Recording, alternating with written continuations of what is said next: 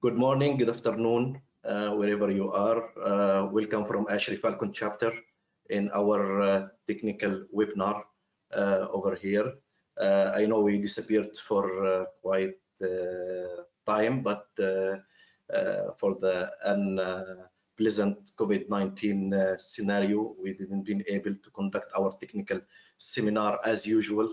Uh, but uh, I think now we are uh, coming back as a Falcon chapter with full force in through the webinar system. Um, I hope all of you will be safe and working around. our our webinar today uh, first, we need to start with ASHRAE Code of Ethics. Uh, in this uh, and all other ASHRAE meetings, uh, we will act with honesty, fairness, courtesy, uh, competence, inclusiveness, and respect for others, which exemplify our code values of excellence, uh, commitment, integrity, collaboration, voluntarism, and diversity, and shall avoid all real and perceived conflict of interest. Energy is very important in our uh, environment in any in our uh, day-to-day -day use. And this uh, seminar today is touching one of the biggest problem we are facing in our industry here, which is the low delta T syndrome. Low delta T syndrome is a condition which is a low chilled water return temperature increases amount of chilled water uh, to circulate in order to meet system cooling loads and chillers uh, receiving uh, low chilled water return uh, temporary cannot be loaded uh, to their design capacity. The low delta T syndrome uh, is creating a lot of trouble in the systems due to increasing the flow of the GPM. In the example here, we are using a capacity of 500 uh, uh, of uh, GPM delta T of around 1,000 ton here if uh, the flow rate uh, GPM is around 80 uh, GPM in a chilled water delta T of 13 Fahrenheit, which is 110 is 54. If we reduce the 54 Fahrenheit to 53, we'll find our uh, flow and the GPM is increased to 104. If it has been reduced one more degree to 52, it will go uh, 179. Percent extra. And if we go to 50 uh, F, the flow of the GPM will increase from 80 to 370, which is mean 400%. 49 cannot be attained because it will be more than 400 uh, design GPM uh, in the system. Just to give you an example, how many chiller you need to operate with every uh, low delta T uh, reduction happening so that if in example if you need one chiller for 1000 uh, gpm in delta t 16 uh, if this delta t reduced uh, to 12 uh, f over here then you will require two chiller to, to for to, to to use it for the same flow and your flow will move to the 2000 gpm if your delta T uh, for your T, uh, reduced to 9 Fahrenheit, then you require three chiller to working over there. 6 Fahrenheit, you need four chiller to do over there. So that uh, this is here show you how much the damage can happen to the to the to the chiller plant is operating all this impartial load uh, while only uh, you needed around 600 ton in, in, in the whole scenario for the uh, which can be run with the one chiller only over there. As you know, the uh, the equation of the chiller uh, of the flow is that is Q design is BCP multiplied by the delta by the delta T what is causing this low delta T? Mainly what I found it, yeah, partially it can be through this, uh, the secondary network, but the major uh, problems can happen in the uh, building itself or through the building itself. So that uh, I put here around 14 reasons for this low delta T, which we will tackle several of these reasons today in our presentation.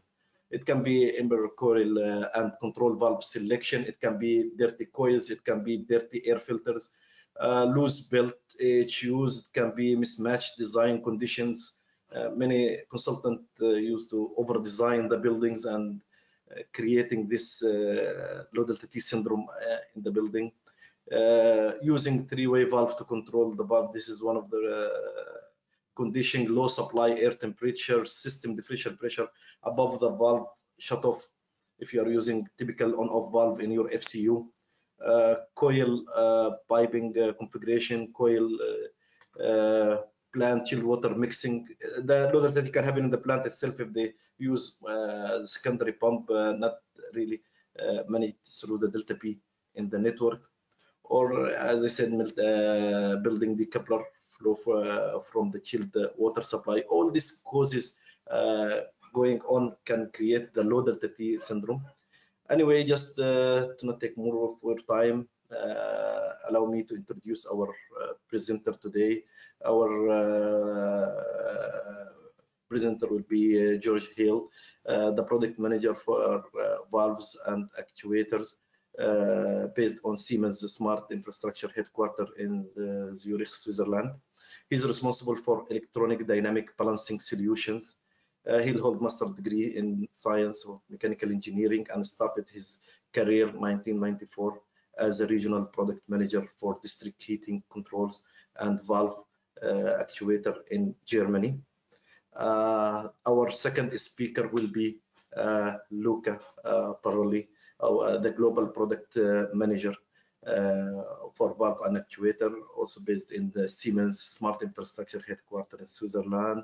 And he have a master science in mechanical engineering and started his career uh, technician working in Italian valve and actuator manufacturing industry.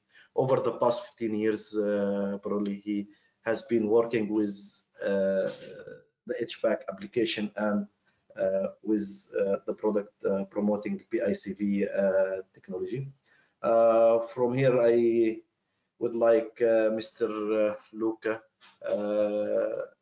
to go ahead with the, his presentation. Welcome, Mr. Luca please go ahead. Thank you very much. Welcome everybody. I hope you can hear me well.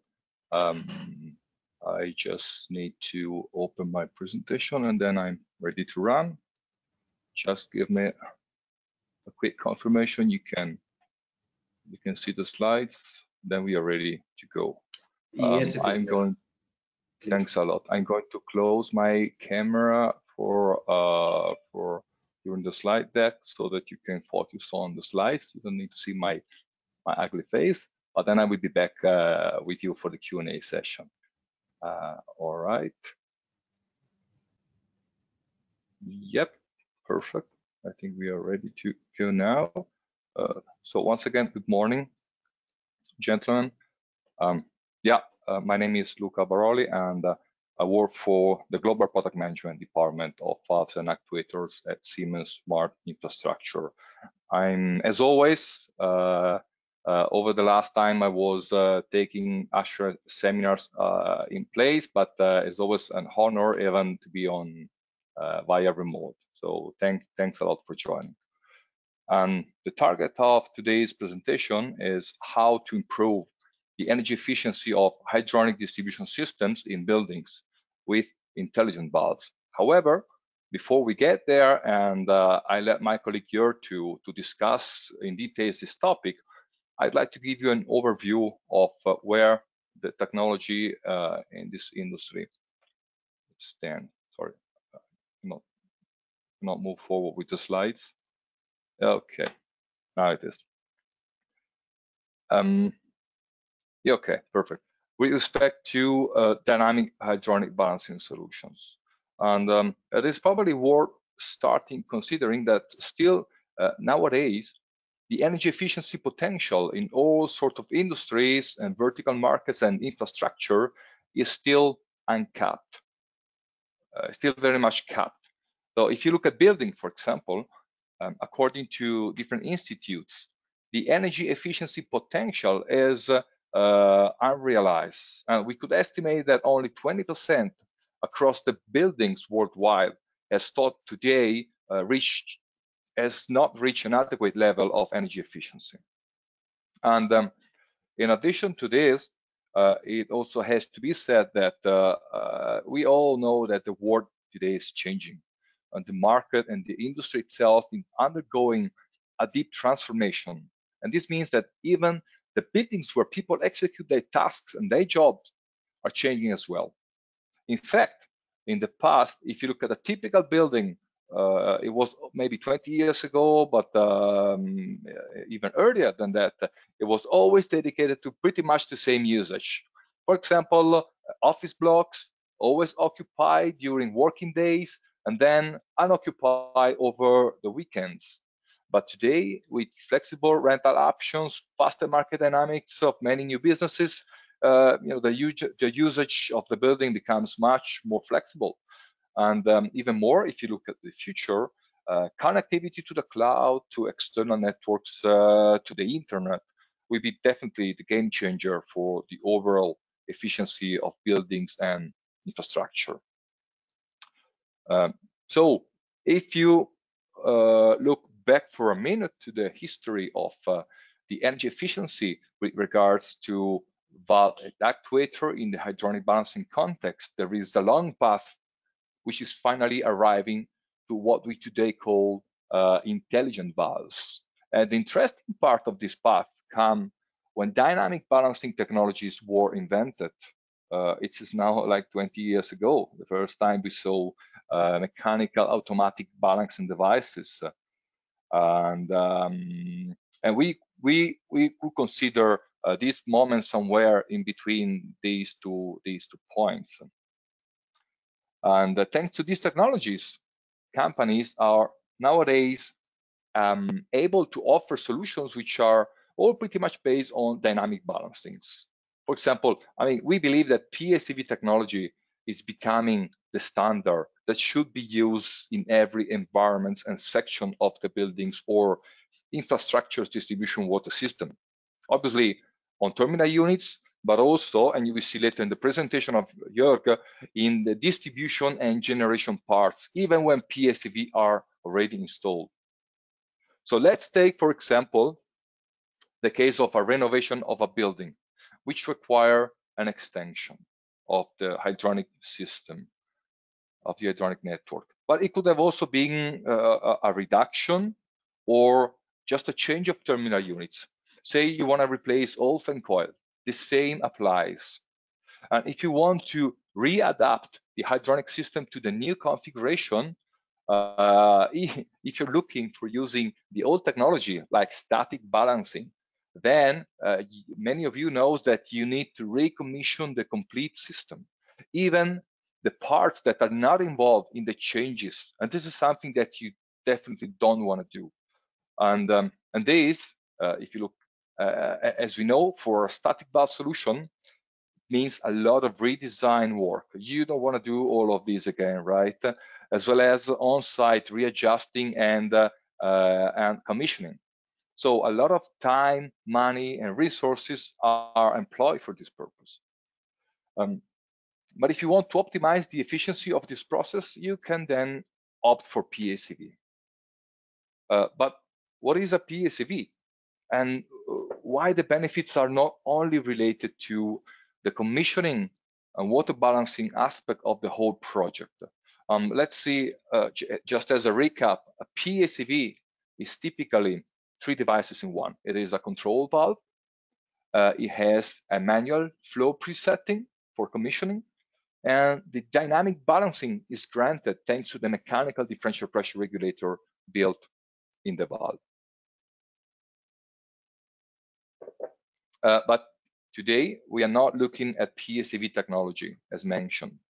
We covered this before. We would like to have a look the energy performance of a dynamic balancing solution system with mechanical PICV and how this can be improved by the use of intelligent valves. So let's consider a cooling application. Um, thanks for introducing the slides uh, uh, at the beginning because it fits perfectly. Um, uh, this is a very simple schematic, right?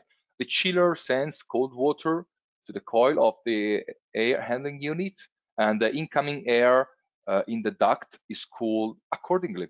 And after transmitting its thermal energy, the water returns slightly warmer, right? the system in this case is designed to operate at full load with 6 degrees flow temperature and 12 return. So we have a difference of 6 degrees, and this is what we call delta T. And this difference is very important because a chiller works most efficiently when this gap is the largest. So what you want to do is to keep the delta T at the highest possible level. Uh, but what happens when you control this loop with a static control valve? Obviously, in real life, you're not going to have just one coil in your hydronic distribution system. You're going to have many coils. The system will be more complicated, and there are many factors that influence the energy demand and therefore the return temperature. For example, at the beginning of a meeting with a large audience in a conference room, you need extra capacity. Or at the beginning of the week, when uh, switch from reduced comfort to normal mode, you need extra capacity. And when the chiller pumps more energy in the system, if you have a standard valve which has no capability of compensating pressure fluctuations, then you end up having overflow during these moments. But because the flow is distributed unevenly, the energy is not properly transmitted where you need it. So you're going to have excess overall energy, but somewhere the energy is lacking because there's too much of it somewhere else. And in this case, the return temperature is lower.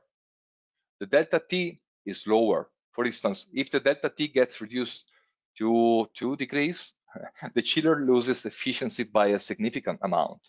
And uh, I mean, the exact amount of lost efficiency depends on the chiller itself and on the specific duty point of the system. But I guess the point is um, is pretty clear. And um, the the first a first and very good mitigation measure is to use PICVs, because thanks to the dynamic balancing compensation, the flow in the terminal unit is always limited to 100% of the design flow.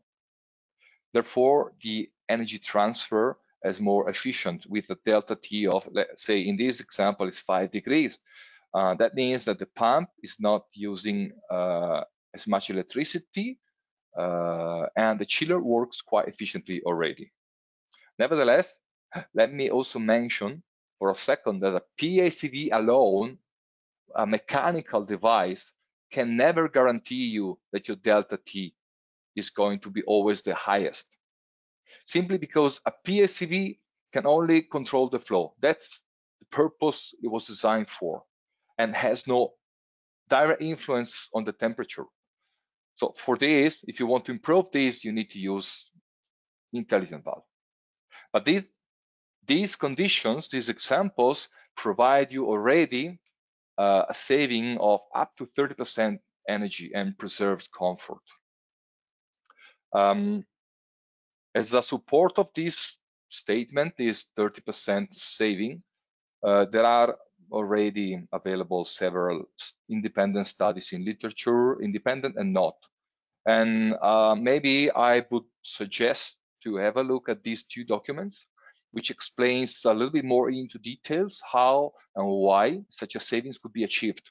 Um, on the left, you have the Siemens white paper, uh, and these documents deal with energy savings in a real case for um, the Middle Eastern region. I think it's Saudi Arabia. Um, and then before handing over to my colleague and see what the intelligent valve can do to improve even further the delta T, let me just mention what you will see in this other independent energy report of uh, this, the British Institute BSRIA and how, if you look at the electrical consumptions of the secondary pump, you can save even much more than 30%. And um, this is basically a summary uh, that you would find in the report. Um, if you look at just the red and the blue piping layout, uh, we can now compare the energy performance uh, of two different valve sets show up there. The first one at the top is a static control mm, valve with a manual balancing valve. And uh, you don't see it, but uh, in the riser, there is also there are also differential pressure control valves to de decouple the circuits. And the second one is a PICV arrangement. So without manual balancing valves, and obviously, and without DPCVs. And it is very interesting that uh, uh, we will be able to check uh, thanks to this report, to what extent the energy saving can get if you mix the right combination of valves with the correct pump control strategy. So what is the pump control strategy? As you know, uh, today we pretty much only have variable speed pumps in hydronic system.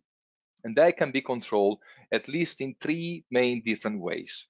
Uh, the first one is constant pressure. So you see the black dotted curve here. This is basically the pump is going to change its speed in order to always maintain the same head in the system, no matter what the flow. The third one, the second one is proportional pump speed control. Uh, so the head will be reduced in a linear fashion, depending on the, uh, the, the, system conditions. So if terminal units are open, close, uh, so basically on the resistance of the system. And um, also interesting that you can control the pump by means of a, a remote sensor. Uh, we could speak for hours about this. This is a, a, very interesting topic in my opinion, but to be short, imagine a system like this one, and then you install a differential pressure sensor somewhere, uh, not necessarily by the, less, the least favorite circuit, but nearby this area. And this sensor communicate with the pump. So this method um, by the BSRIA report is called remote sensor pump speed control. And as I said, it's uh, the, where the pump is driven according to the signal of a sensor, which monitors the trend of the delta P in a specific point of the system. And this point is called the index circuit. In reality, we know that we don't always place it there, but somewhere along this line. so once we understand what is done, we can now check what happens to the energy consumption of the pump if I use a traditional valve set, static valve set, or PICVs with different pump control strategy. And um, uh, in the first case, uh, with uh, constant pressure control, if we compare two port control valves, so the arrangement B against PICV, which is C. So we are basically looking at these two red lines. And uh, you can see that we can save 25% of the pump electrical consumptions if we run the pump uh, to the with in this mode. But if you look at the remote sensor here, then if this goes even beyond and reach a relevant amount of 50% reduction of the secondary energy consumptions of the pump. Amazing, right? And so this is absolutely no question that PICV provide a very great benefit to the hydronic distribution system energy balance. But is it worth the cost? And for many of you that are familiar with PICV designs, it is obvious to see that there is no longer need for manual balancing valves because PICV is three valves in one, as you said before. And therefore, you can eliminate any other control or balancing element. But not only, in fact, it is clearly much easier to balance a new or refurbished system as there is no painful iteration along the coils of the whole building. So, summarizing and closing, considering a use case of a building with 500 rooms, uh, it could be a hotel, for example, and uh, consider the standard cost of control devices as well as the standard hourly labor costs. The savings can reach and overcome 25%, like in this example. The overall cost, if you switch to static balancing to dynamic balancing. And this is amazing, uh, but it, this is just the beginning of the journey because now I am going to hand over the microphone to my colleague Jörg Heil, who will continue to deep dive into these dynamic balancing energy savings opportunities. And thank you very much, gentlemen, for your attention, and uh, I'll see you later for uh, the Q&A session. Um, let me just uh, make your organizer. Okay, Jörg, the stage is yours. Yes, uh, thank you, Luca. Um, my name is Jörg Heil, uh, as already mentioned in the uh, beginning. Uh, I'm also, as Luca Baroli, product manager within Siemens uh, Smart Infrastructure for valves and actuators, and I welcome you to this uh, seminar. Uh, Luca, just a question. Do you see my screen? Do you see the presentation clearly? Ah, I don't. Just go in presentation mode. I am in presentation okay. mode. Now it works. Yeah, fine. Thank you. Yeah. Um, let's continue. Um, what are the potentials even beyond uh, pressure independent control valves um, with intelligent valve solutions in regards of optimizing energy, in regarding of uh, uh, even improved um, not only flow balancing and dynamic hydraulic balancing, but also temperature management and dynamic power management in a installation. Here we are at the starting point where uh, the PICV uh, shows his, its uh, uh, uh, its use case. you have the flow under control. We avoid excessive overflows to the coils. we omit that coils are starving. We have optimized basically the pump energy. This very excessive overflows we have seen in the uh, starting presentation with seven times the, uh, the design flow, we have already under control. But how can we do uh, more? How can we do a better power distribution to the different risers? How can we optimize uh, also the temperature, uh, the delta T uh, in these applications? How can we guarantee that each riser gets the power he needs and optimizing efficiency and with efficiency also operation cost. Um, what do we need for this? On the one hand side, we have the flow now under control a little bit passively by the PICVs, but we do not know where we have topics with delta T in this distribution system. We do not know the flow and return temperatures, but we should do. We do not know which riser gets how much uh, power, but we should know. And to know this, we need an intelligent solution and we need also a connection into the BMS system or into other uh, management systems. Now, I would like to show you the, a little bit the, um, what an intelligent solution would look like uh, and where it is different to a mechanical PICV. An intelligent solution don't just know what is the maximum flow set point and control uh, dynamically the flow, but it has more elements. Uh, it knows due to this precise uh, ultrasonic flow uh, meter anytime during operation which flow goes into this riser, into this air handling unit. Then it is usually uh, having a precise pair of temperature sensors not only to measure flow, but to uh, give the possibility to measure energy. And because sensor, flow sensor and temperature sensors are connected to the local integrated controller, um, the controller is more or less already like a heat meter, not with the precision uh, and the uh, uh, certificate of a heat meter, but it is already very accurate. It is within a, a two plus minus two percent uh, energy measurement uh, on this single intelligent device.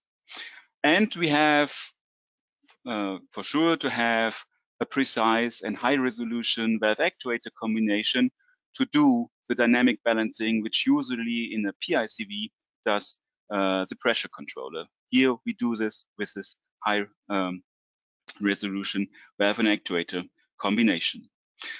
The brain of this solution is the controller. And this controller provides the capabilities now uh, not only to control the flow dynamically, but also uh, to dynamically control power distribution to the risers, And especially it's able to control the delta T across the riser or the air handling unit coil and so on. And then on the right-hand side, you see this controller is not a standalone device somewhere uh, only in the hydraulic network. It's also connected by BACnet into the uh, building automation controller. So the building automation controller can also uh, um, exchange and, and uh, get the informations to extend the comfort control and is also able then by BACnet to integrate into the building management system for more transparency. Now it seems to be quite complicated uh, because this is now a, a, controller, but it's a modern controller. So for it's not only a black box for local troubleshooting. If your uh, uh, service staff goes uh, onto the plant, there are mobile apps uh, allowing you to connect to this controller locally, allow your troubleshooting. The controller uh, gives also alarms and status indications uh, to this mobile app and to allow the staff to have everything on control locally and uh, to do service locally. Basically, in the starting point, an intelligent valve solution is a PICV, um, an electronic PICV, and it but it acts like a PICV. Uh, there are some slight differences, like uh, in regards of how fast is this dynamic balancing acting. The electronic solution acts a little bit more moderate. The PICV is very fast. The um, intelligent valve solution might not be able to solve very, very high delta P's uh, like uh, PICVs today, but it solves moderate uh, uh, delta P's. And then the, the uh, deviations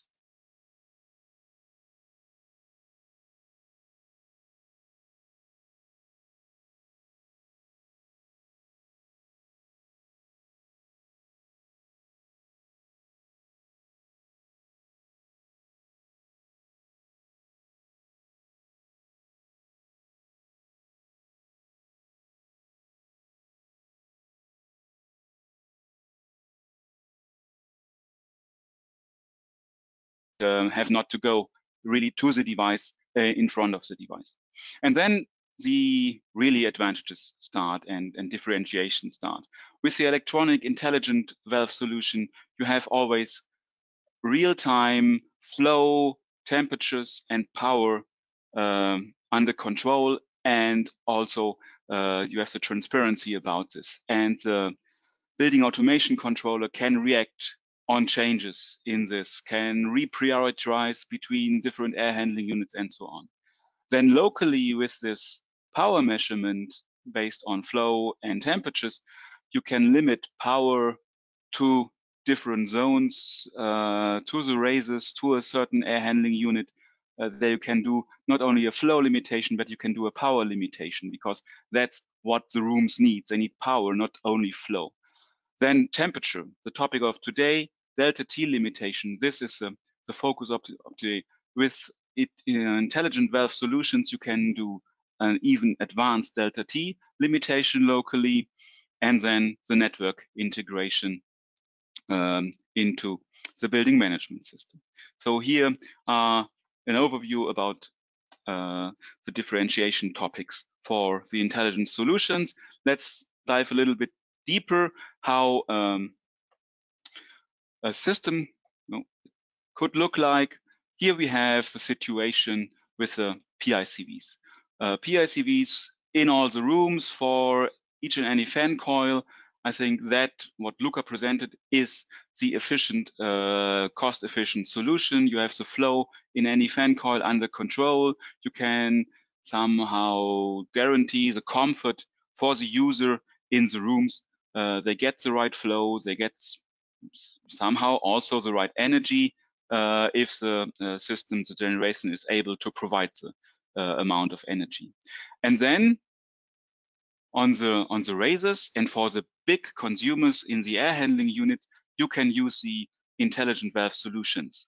You can add the intelligent valve on the risers. Uh, then you have on the one hand side also uh, the distribution on the riser level under control in regards of flow but also in regards of power. You can say this riser uh, is allowed to get uh, this amount of power, this riser is allowed to get this amount of power.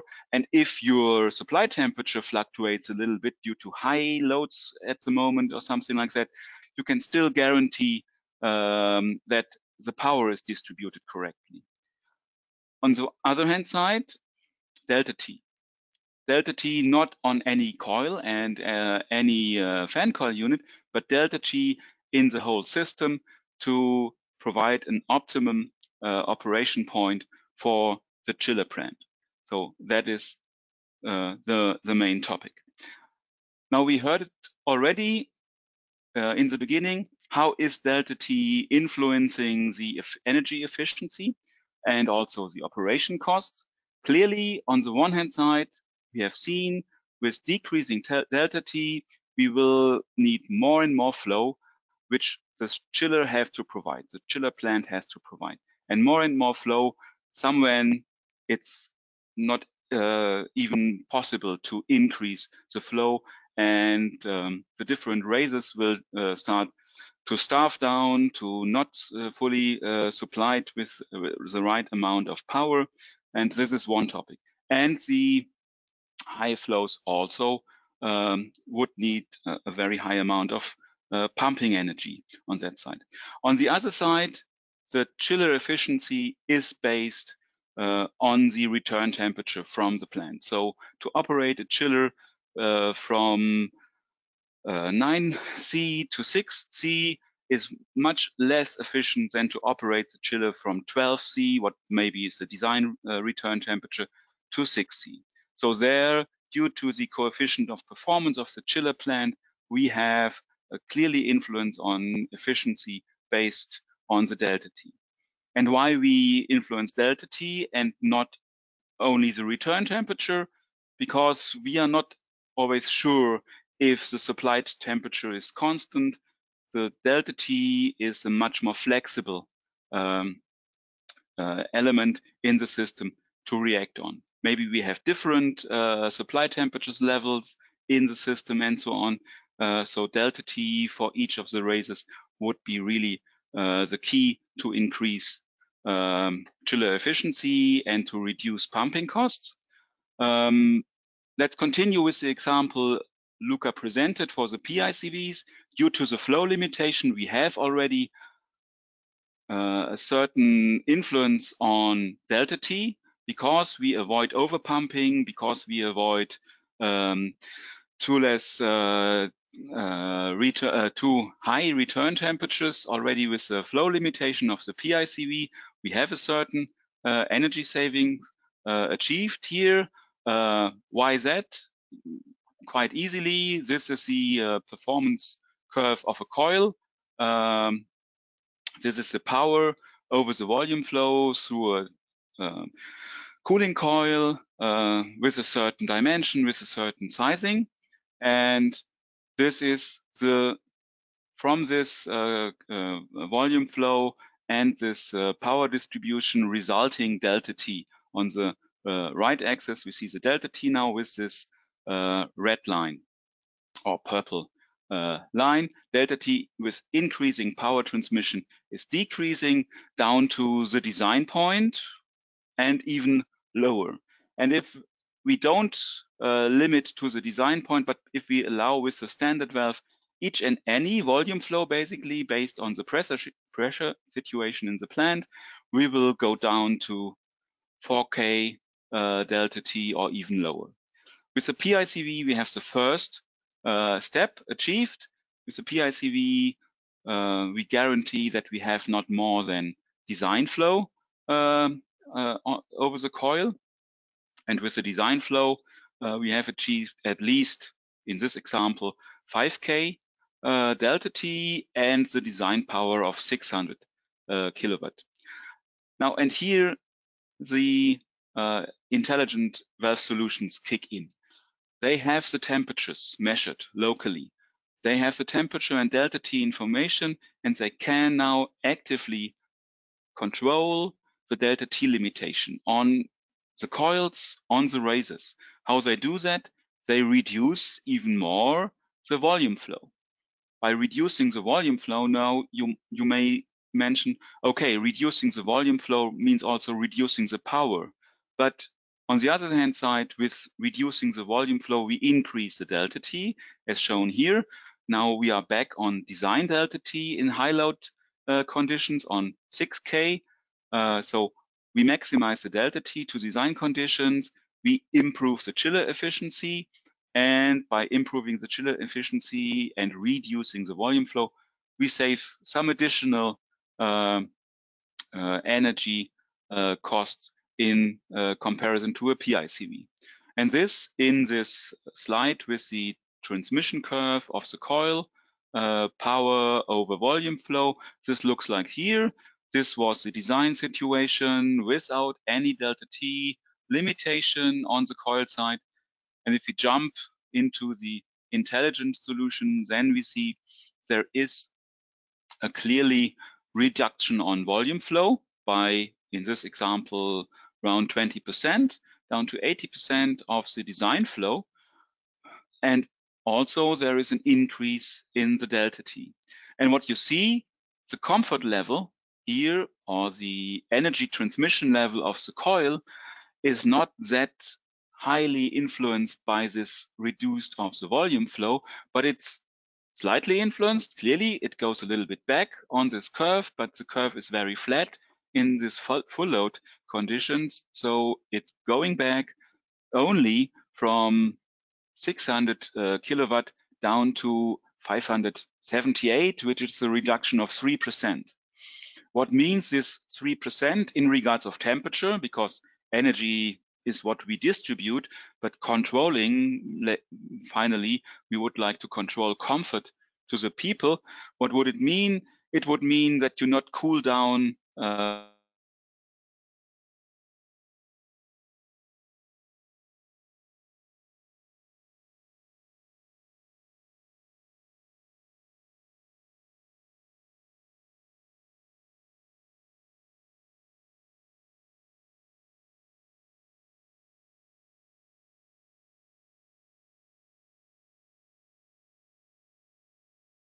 Um, hey, Jörg, I think uh, your voice uh, has uh, gone. delta T. Jörg, can you just go Um, two minutes back and repeat? Uh, we lost you for the last one minute. Okay, sorry for that. Um, hopefully it, it works now. Yeah, then let's um, start maybe here. That was clear, 7% Now I and was so on. already at, at the 3%. You can start from the 3% uh, reduction. Uh, so exactly. What so what's what's happening if I do really locally control delta T limitation to avoid a too low delta T from the um, air handling unit coils from the risers. I reduce volume flow here roughly by by 20% to keep the 6K delta T. And this due to the flat curve of the transmission of the energy and power transmission on the coil due to the flat behavior in this full load and high load conditions, I only reduce the amount of power I transmit by this air handling unit cooling coil by 3%. What means 3% in regards of temperature? Let's imagine you cool down from 30 degrees outside temperature to 18 degrees supply temperature. Without delta T limitation, you will end up in this 80 degree, eight, 18 degrees supply temperature. With the 3% reduction on power here, you will end up roughly in 18.3 degrees supply temperature, which nobody will really realize on the comfort level in uh, in the in the rooms and so on.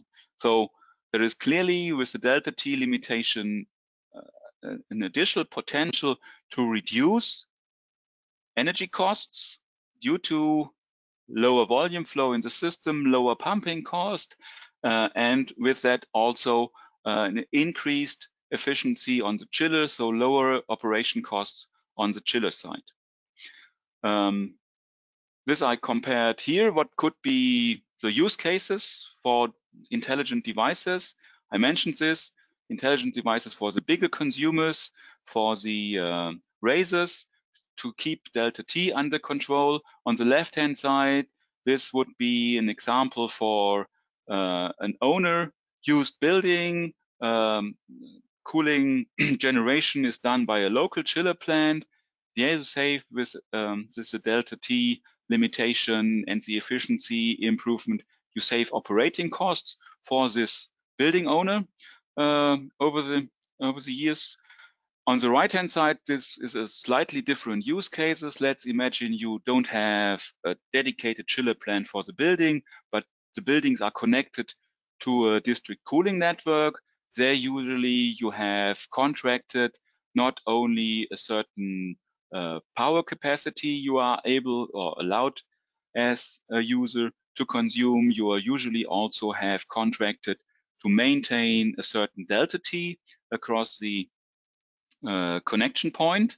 Um, um, and the um, district cooling uh, substation you might have uh, in the um, uh, basement of the building to avoid any penalties and to guarantee uh, to the utility and to follow your contract with the utility to guarantee this delta T uh, um, limitation, there you can use the intelligent devices as well so that uh, you are uh, have a good relationship with your uh, utility finally, or the user has a good relationship to his utility because he has done anything he can um, to uh, perform a good delta T performance uh, of the plant in the building and to good, good delta T performance also in this district cooling network. So these are a little bit two different use cases, but both coming back to the installation uh, situation, uh, intelligent solutions with delta T limitations on air handling units and on the risers. And also on the big maybe fan coils. If you have, there are very big fan coils with, I don't know, five cubic meters, 10 cubic meters, then those parts also, they may also be uh, attractive for an intelligent solution. Smaller fan coils, one kilowatt, uh, two kilowatts, they, from my point of view, their EPICV solution is more, uh, a PICV, sorry, not EPI, but a PICV solution, mechanical PICV solution is more comfortable. What do these expected uh, additional 7% of energy uh, savings by um, a delta T control uh, on the main user, um, main consumers mean in regards of um, payback time or uh, in and on investments. Here is uh, our so-called building proxy. That's a uh, sample building. Uh, we're starting at the same point where we start with the PICVs, 500 rooms with 500 fan coils uh, for the PICVs. But there is also a, a distribution network with the risers in front of these. And there we have used intelligent valves for these distribution risers, and we use intelligent valves for the uh, bigger air handling units uh, here for air handling units. Um, and then uh, this building uh, we expect is such of these buildings with the chiller in the basement um, used by the owner uh, itself. So how can we judge the additional investment in these 20 intelligent devices. To make it short, um, it's a little bit based clearly on the energy costs uh, you have. Let's assume we have round about 1000 megawatt hours or 980 megawatt hours of yearly energy uh, consumption. Energy costs in this example are assumed to, to be 100 euro per megawatt hour.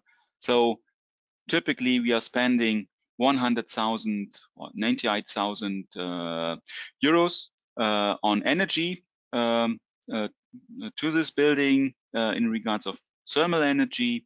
Uh, if we save 7%, this ends up in some 6,860 euros savings year by year.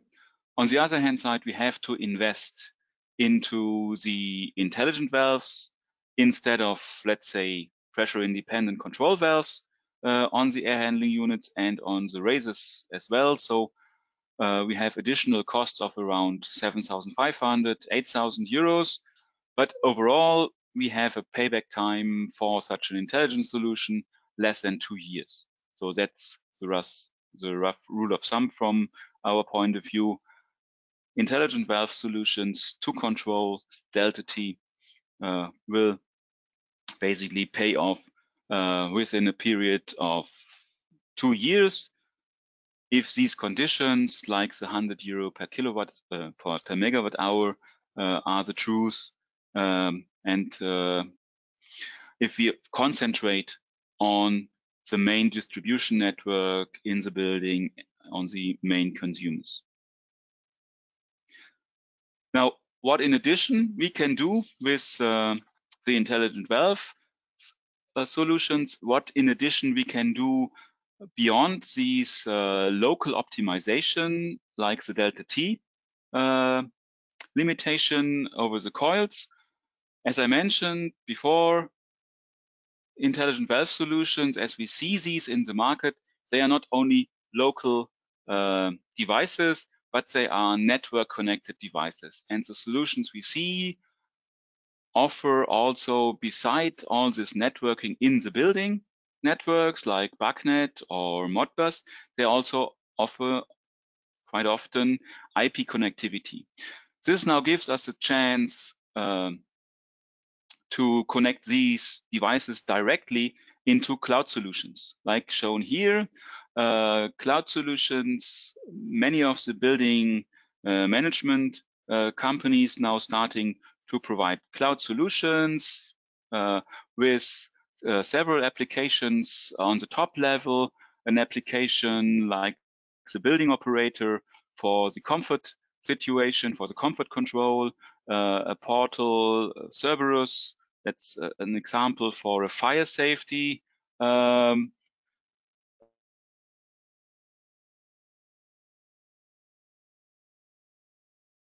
your your voice again.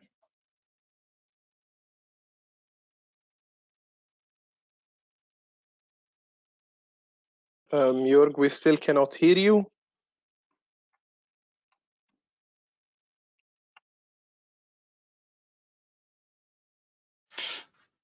Luca, can you step in? Left-hand side, like the intelligent valve. Yeah, it's back. Um, Your Jörg, can voice you just again. go one minute back and then start again? Because we lost you for the last minute. Okay, thank you. Um, yes, let's start again. So these intelligent valve solutions we see on the market, they are not only local solutions for controlling the um, controlling the air handling unit coil, controlling a riser, but they are also connected devices in the meantime. On the one hand side, connected into the building um, automation network, to the controller, uh, to the building management system. On the other hand, we see solutions which are now able to directly connect into cloud solutions, like shown here. The building uh, automation manufacturers, um, they start to provide cloud solutions on the one hand side, like here, Cerberus portal for fire and safety. On the other hand, for comfort, like the building operator, uh, so comfort control, supervision. Also, they give uh, organizations the potential to offer services um, like energy reportings and so on. And with the intelligent valve solutions, we are now starting to connect directly into this cloud and not be based on complicated interactions with an automation level um, and uh, then from the automation level into building management system or into cloud solutions. But if you like a very slim and uh, effective solution, you can directly connect those solutions, energy valves, intelligent valves into cloud solutions. And then you have the opportunity here, if you are integrated, on the one hand side to supervise uh, these intelligent uh, valves directly in the cloud. You see the temperatures, you see the current operation conditions of these.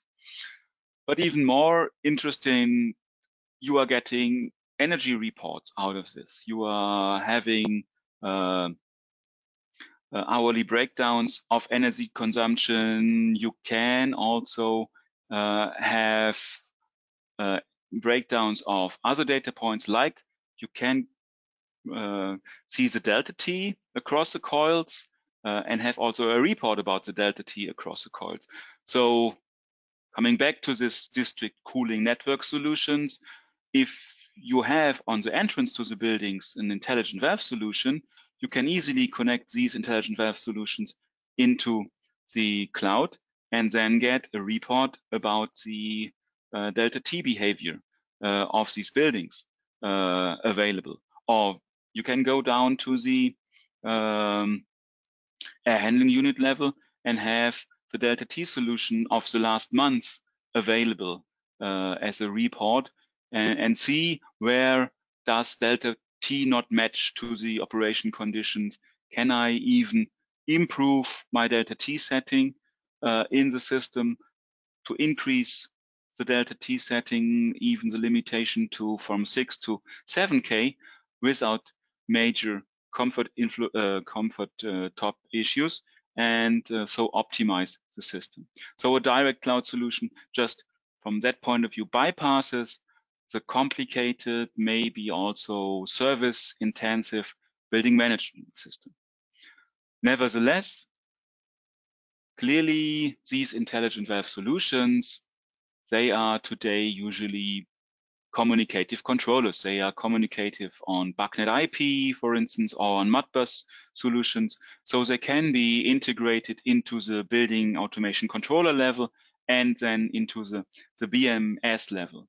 And with that, if you are responsible for the operation of a certain building, then you get all the advantages uh, of these intelligent valves, the local alarming, if a sensor is failed, or if the delta T is too low, for instance, you uh, can, can program uh, the BMS system in this way that, that you get alarms, that you get uh, guided through the system, navigated through the system from alarms into the specific um, uh, part of the installation, into the specific air handling unit, and even then you can go down on uh, the device level and see how the device really acts currently in regards of flow, power, uh, and temperatures. And you get uh, on the other hand side here, you get an alarming if um, these devices may have an, an issue. Too low supply temperatures, for instance, could also be an issue. Then you get the alarms. You are guided through the building management system into uh, the part of the building and then onto the device and can see what's happening there locally. Maybe a actuator failed, uh, is the supply temperature too low? Is something get stuck? Like uh, position is fully open, but flow is not there. What is happening? Is the strainer uh, blocked? So two possibilities of integration of those intelligent solutions, one hand side into the BMS system uh, for local uh, operation from service experts. On the other hand side, integration into cloud solutions to operate by, for instance, just for information of the facility manager that, that he gets a high level notification uh, if there is any topic and can then inform the specialists and guide the specialists directly to the right uh, solution. Okay, as a summarize, from that point of view, we are. We have started with the PICVs, managing the flow uh, distribution in the network, now we are have seen what intelligent solutions can do. Uh, they can minimize uh, the energy consumption and they can optimize also the comfort uh, with this uh, minimized energy consumption. Why should we do that? Why should you use those devices instead of doing this with separate um, uh, uh, devices like heat meters and temperature sensors and program this into the building automation controllers. Here, you, you know what you get basically directly. You have not to think about how it should act, but it's pre-programmed, it's pre-configured. You can just activate the Delta T control on the device. Uh, you can set the Delta T to your design specification. That is very direct and very simple and easy to commission. You don't need to program anything. Uh, you can directly also change it and you have the remote uh, access either through the building management system or through the cloud uh, to the device to do resettings, optimizations, and so on. Basically, also from that perspective, clearly those devices from the different suppliers, they are directly usually integrated and seamless integrated into their environment. So you might find in the from the different suppliers also on the building automation and building management level, a compound library which allows you to easy and seamless uh, integrate all the necessary data points into the building automation controller uh, and have the alarming pre-configured, trending pre-configured if uh, you like to trend these on the BMS system instead of the cloud and so on. So there are a lot of advantages to using this pre-configured solution instead of doing it uh, by my own in each and any project individually. So I hope I could give you a short overview what intelligent devices could do even beyond uh, PICVs in regards of energy optimization, how such a solution could look like, where to place uh, these solutions in the network. And that's now um, the end of the presentation. So I like to thank you. And I guess now we are open for questions, Luca, correct? Yes, we are. Yep. Yes. Thank you, Jörg. Thank you, Luca, for the nice presentation. I can see a lot of questions from the attendees about the topics. And I think one of the common question which initially came was that uh, can the attendees get the presentation copy or the recording of the copy? The answer is yes, you all will get the copy of the presentation as well as the recording. Somebody from the ASHRAE team will be in touch with you to provide the details. We have all And, your uh, emails. Uh, we have all your emails and uh, who's ever uh, been in the seminar over here, he will get uh, the live recording link uh, for the present and the presentation over here. Thank you, Mohammed, for the confirmation. So for the for the question on the topics, I have just segregated some of the question because we have limited time. So I'll try to take some of the question which uh, Luca and Jörg can answer. So maybe Luca, I will start with you. The first question we have on the PICV technology is, it looks DPCV in the main branches doesn't provide enough saving compared to PICV. Is it right? And the connecting question is, but can we maintain the main branch pressure if we have many number of fan coil unit with PICV? Yes, it is correct. The DPCVs um, uh, are not uh, installed alone in the system. Uh, you have to consider DPCVs are installed together with a control valve and a manual balancing valve. And uh, the independent reports, but also our own studies prove that uh, by the time that you sum up uh, the pressure losses required by the DPCV to have enough authority for for to to maintain control loop and uh, also with the pressure loss of the control valve again to have enough authority to for the control loop and uh, together with the pressure loss of the manual valve to do the balancing then at the end of the day PICV providing the minimum delta P that startup pressure that needs to to be fed with to provide custom flow, then uh, it uh, it is less um, it is less efficient. DPCV plus control valve plus manual. I hope it was clear. right. I can you can you just repeat the other second question, second part? The second is, can we maintain the main branch pressure if we have large number of fan coil units with PICV? Can we maintain the main branch pressure if we have a large number of fan coil units? I don't quite understand. I think the base of the question is that do we really need DPCVs in the branches if we have the PICV Oh, or the terminal unit? Yeah.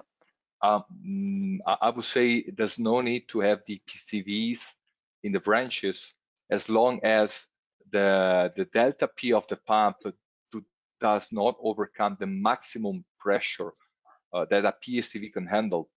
Uh, in uh, we have, for example, typically this pre maximum pressure is 600 kPa or 6 bar, And yeah. if your pump is bigger, then maybe it is a good idea to to have some means that limits the pressure, especially near in the risers near the pump. Yeah. Yeah, I think in in general, I would say to sum it up on this answer, in our application, we don't see the pumps going over six bars. So to answer the question, you don't need the DPCV if you have the pressure independent valve on all the terminal units. If you have really high pressure from the pump, then you might need it. So it's on the on the particular case which you will have to see on the project, right, Luca? Yes, correct. Absolutely okay. correct. Thanks, Aki. Uh, another question, Luca, on the same line is that do we need DRV on the branches if we are using PICVs on the terminal unit? Um, you don't need double regulating valves or DRVs for balancing any branches anymore because uh, the whole balancing is provided at the terminal unit level. Um, I have seen many cases where people uh, still install DRVs because they have, uh, you know, the pressure ports and they like to measure the flow. This is the only, I mean, if you see, if you still see a DRV installed on a dynamically balanced electronic system, it's because maybe commissioning engineers Steve would like to have a flow measurement device there. That's all. That's all. Okay. And we have another question on the PICV is that what's the difference between the PICV and the PIBCV? There's no difference. It's just a different name. Okay, so different manufacturers are using the different uh, nomenclature right. for their product. The, the, the first one stands for pressure independent control valves and uh, the second acronym stands for pressure independent balancing control valve. But as a fact, if you look at the two valves, uh, they, they do exactly the same functions. So no difference. Okay. So the next question is how will the delta T will change when we have automatic control valves, we are talking about the two-way control valves, to the terminal unit of fan coil unit and air handling unit, which is actually regulating the flow to match the design delta T. So I think this question is a bit unclear to me as well, whether we are controlling the delta T from the air handling unit or we are controlling the, the zone temperature. I I think the best uh, explanation uh, was given by Jörg uh, in the slides where um, it was showing the curve of the terminal unit and also it was showing the trend of the delta t uh, with the flow in the same chart and right. i think uh, uh, and this is the best slide so with the recording everybody will be able to to to see the slides and also listen to the explanation of Jörg, even if the audio um, was missing for a couple of seconds. But yeah, exactly. I think this is by far the best explanation, and uh, it is also important to understand that it's fine, even if uh, the, the uh, devices like intelligent valves, if you give them um, the, the task to maintain a constant delta t, obviously uh, the, this is the prior one, the top priority, right? So design flow is not anymore going to be a priority as well as the set point. Uh, so it's going to be, uh, you should carefully look at this. Do you want to prioritize the comfort of uh, of the uh, of the room that you want to uh, to cool down, or you want to prioritize the energy efficiency? And obviously, it's always a matter of uh, a trade-off between the two. All right. Next question on PICV is what will be the typical payback for retrofitting an existing system which has three-way valve and converting that system to PICV? Um, three-way valve system means uh, constant uh, volume systems which means uh, the energy supply in the building is uh, always, or at least uh, the volume of water supply in the building is always 100%, no matter uh, the, the, the load required. And um, if you look at these, I suggest to have a look at this uh, independent case study because they also deal with um, uh, with the energy consumption of a three three waves for uh, control valve solutions. Uh, and this is taken as a reference, uh, like 100% consumption. Then when you look at the variable flow with the PSV or with manual valves, then you see that it is already 50%, if I know, maybe you can go to that slide, Ankit, and uh, we can quickly look at it. Um, and the payback is certainly. I don't have the control of the slide right now. Okay, I think it's still Jörg. Anyway, uh, it's the summary slides where, where, where, with the energy, with the energy consumption. Yep, uh, this one here.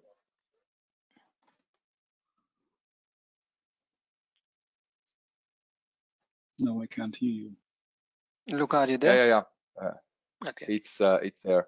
So you you can see already that uh, the the constant flow uh, option is uh, you know the the worst case, right? Is the worst case, and uh, compared with PSV, if you stay on that slide, you see that it is.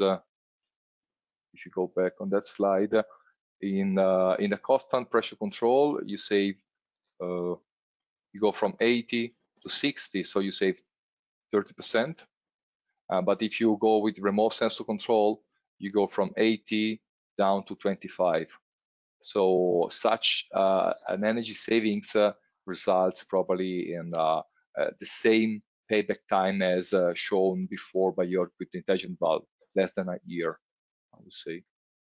Yeah. But the payback and look at, the payback depends yeah, on the specific investment. Yeah, please. Yeah. Uh, hard to hard to give a number that applies for all cases, right? Yeah, and I think it also depends upon the kind of application as well, whether you have, uh, you know, the system which is working for 24 hours a day or it's working for 16 hours a day. What's the load profile and what are the ambient conditions? So overall, the system has to be studied, and then we can come to the conclusion of that. You have the payback of two years, three years, less or high. Correct. Correct. Okay, so look, I'll just move to the next question, which is actually connecting for PICV as well as for intelligent valve. Is the system with PICV and intelligent valve self-balancing and not required balancing at site, or is it required? We get there one day. Uh, currently, mechanical PICV has to be uh, balanced.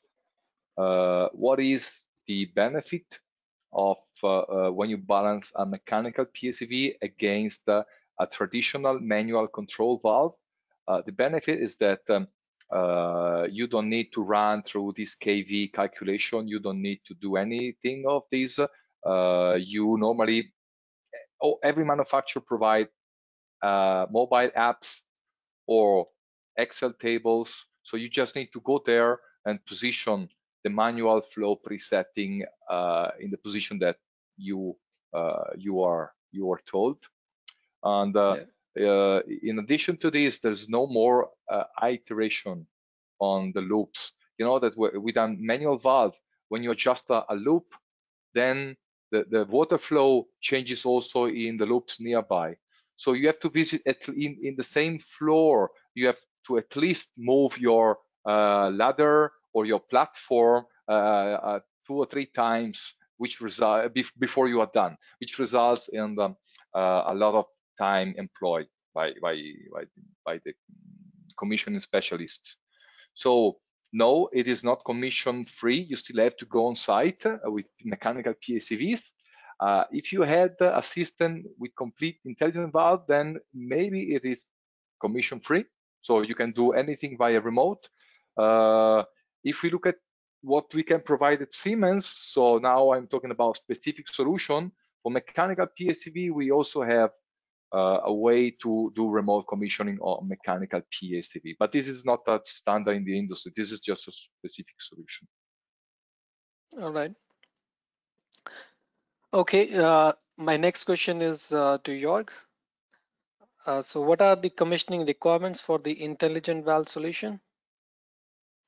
The commissioning requirements are that uh, basically you have uh, the water in the, the, the, pipes are filled, uh, the pump is running, and you need the power supply to the intelligent valve devices because you you need to uh, connect to this device with the mobile app. So it has to be it has to be running, and you then you can do the presetting and also Okay. the setting of the delta T limitation and so on.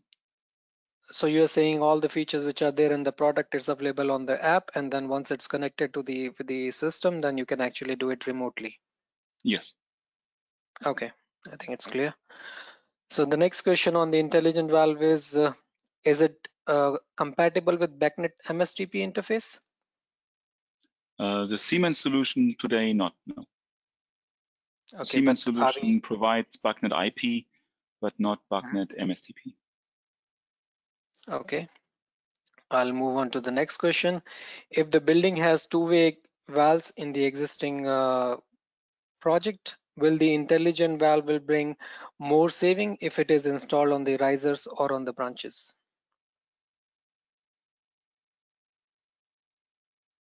Uh, your this is yes, that's uh, yeah, that's that's a yes because then you can do this uh, delta T control on the intelligent valve. Uh, I expect then that the uh, the two-way valves are just standard uh, control valves. Yes, these are standard control Mhm, valves which are in the existing building. Yes. Okay. The next question is, would a chiller supply water temperature reset achieve better saving than delta T control? Uh, shall I chiller repeat? Supply reset. Um, Okay, let me let me just rephrase it. So you have one function in the chiller which is called the water temperature reset. I believe I'm not 100% sure on it. So will that function will be better than the delta T control in the system or delta T control is better than chiller water temperature reset? Mm, There, I'm sorry, but I don't know the function on this uh, this chiller side. Okay, so maybe I can do one thing that we can uh, take this question at the later stage and we can call the the attendee personally and check what exactly the question is. Yes. Yeah, okay. Another question is if the building is connected to district cooling plant without low delta T penalties, how much saving will the valve provide for the building owners? That's basically depending on the uh, contract conditions with the uh, utility, with the district cooling utility. Yeah. That's hard to say. basic. That's depending on how often would I, without delta T control, violate my contract conditions and how how big are my penalties to to violate this. Allow me to elaborate more a little bit in this question uh, because it is typically here.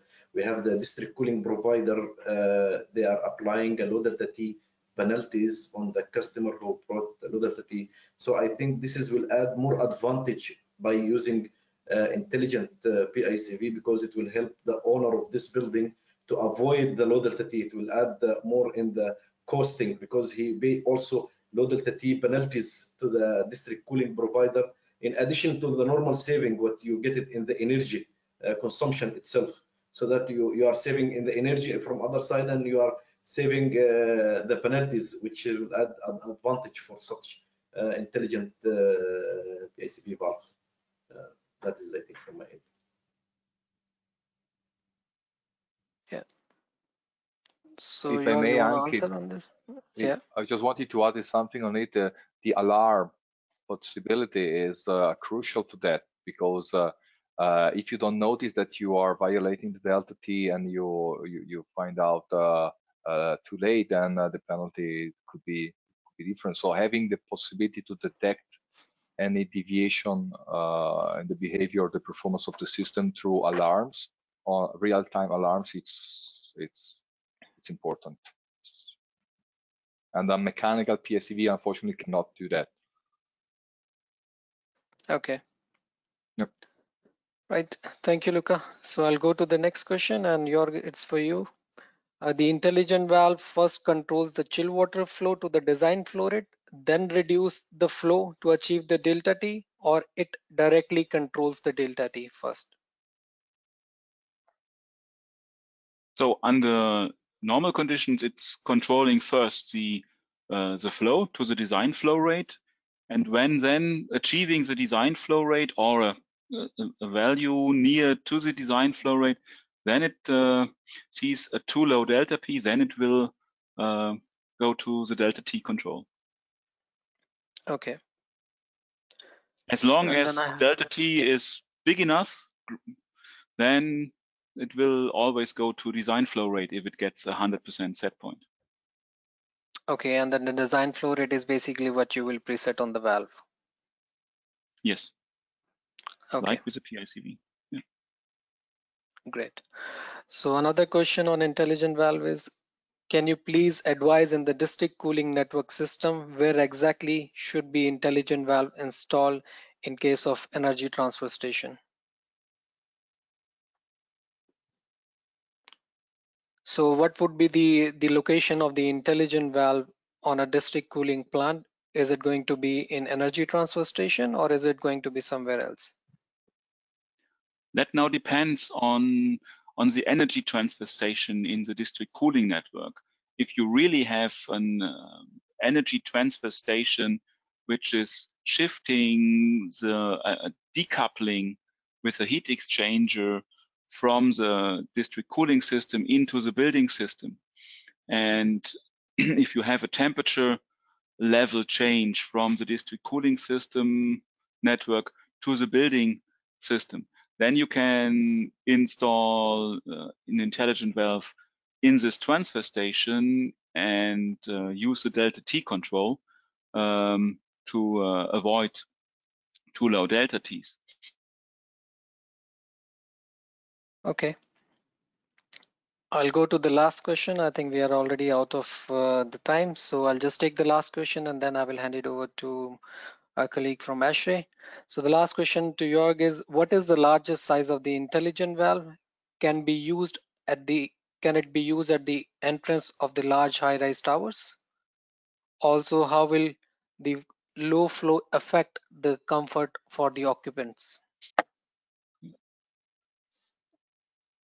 I think it's the same question which was actually answered by Luca. It's basically when you have the intelligent valve on the uh, riser or on the branches, you're controlling the delta T there. How would it affect the comfort for the tenants and especially for the tenants who are basically at the end of the uh, circuit? Yeah, as let's let's go back maybe to um, to this hopefully yeah to this slide. Um, when will low delta T happen? Low delta T will not happen uh, when you are at 25, 30, 40% of um, of power consumption uh, of load situation. Delta T will happen when this consumer, the air handling unit, is on the edge of the, the needed power consumption. And on the edge of the needed power consumption, the curve or the relation between flow limitation and comfort violation is a is a very flat one. So uh, I don't see really a, huge damage to the comfort situation when activating a delta T control uh, on the uh, on the consumers. Okay. On the other hand side, the intelligent valve itself has a clear priority. If you activate delta T control, then the delta T control has priority above uh, volume flow control. But if you do it uh, smart on the building automation controller, you can also give the tenant uh, the opportunity to override temporarily the delta T control. If he is good with this, and if he is willing to pay the extra amount of, let's say, energy costs, um, then you can say, okay, for a certain period or as long as uh, he wants, he can override the delta T control uh, and prioritize uh, the comfort control. But you cannot have both. You cannot have, on the one hand side, optimized uh, energy efficiency, limiting delta T, and on the other hand, a very accurate um, uh, uh, comfort control in full load conditions. Okay, so Jörg, it's clear that we have to set the priority as per the application, whether we want to control the, the flow first or we want to control the delta T. So yes, I think the tenant or the end user has to decide based on the, the project and their requirement. Okay, I think this was the last question. I know we have a lot of questions which are pending, but unfortunately due to the limitation of time, we won't be able to answer it on this forum but somebody from uh, Siemens will be in touch with you at the later stage to answer uh, each and every question and uh, we will come back to you on this uh, shortly. And I would like to hand over this to colleague from ASHRAE, Mohammed. Yes. Um, so, sorry, sorry. If I may also, uh, before passing it on to Mohammed, I would like to give um, very big thanks to uh, Mohammed, uh, to Abdullah, Hassan, and Osama from ASHRAE for making this possible uh, today. And uh, I hope everyone uh, enjoyed today's session and uh, stay tuned uh, for more collaborations with the, with the great ASHRAE team. And uh, thank you all one more time. Uh, really, uh, on behalf of ASHRAE uh, Falcon chapter, we would like to thank you, uh, Luca, George, uh, Mohammed, and uh, the team from Siemens for their continuous support uh, for ASHRAE Falcon chapter and providing us uh, with this valuable technical information, which was uh, really uh, a very interesting uh, uh, seminar and presentation with more than 500 attendees in this uh, session. So that uh, I think uh, really it is a remarkable uh, seminar. Uh, back to our housekeeping, we have our next seminar will be next Friday, 4 p.m. The speaker will be our Falcon chapter president, Mr. Hassan Yunus, and it will be introduction to energy management and energy audits. Uh, uh, wish all of you will be over there. We, uh, we will send the invitation to the all member and you can distribute it over there. Uh, thank you again, uh, Luca and George, for this uh, interesting uh, seminar and uh, wish to see you in the more and more seminars like that. Thank you a lot. I appreciate it. Thank you very much. And goodbye. Thank you. Thank you. Bye. Bye bye. Bye. Thank you, everyone. Have a nice day.